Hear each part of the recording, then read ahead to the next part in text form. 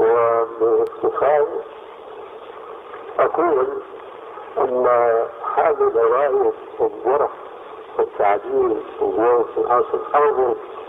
وبحق هو أخونا الدكتور الربيع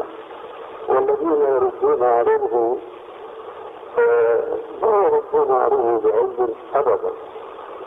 معه. And in summary, I say that the flag bearer of Al Jarh wa Ta'dil today in present times and in truth is our brother Dr. Rabi'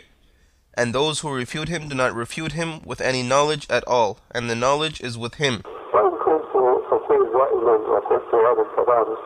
له تهاتفيا أكثر من مرة أنه لو يتلطف بأسلوبه يكون أنفع للناس سواء كانوا معه أو عليه أما من حيث العلم فليس هناك مجال لنقله الإطلاقا إلا ما أشرته آنفا من شيء من شدة التكسر And I have always said, and I said this speech to him over the phone more than once, that if he were to soften his manners, it would be beneficial for the majority of the people, regardless of whether they are with him or against him. As for with regards to the knowledge, then there is no place to criticize the man at all, except in that which I have pointed out previously in something of harshness in the manners. أما أنه الأولاد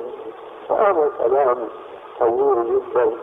لا نصيبه إلا أحد الوجوه إما رجل جاهل فإنه يتعلم وإما رجل مؤمن فهذا لا سبيل لنا عليه إلا أن ندعو الله له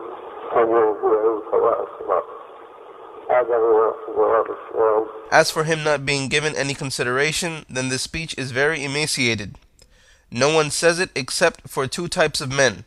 Either this one is an ignorant man, in which case it is befitting that he learns, or a man who is biased, and we have no path with regards to him, except that we make dua to Allah to guide him to the correct path. This is the answer to the question.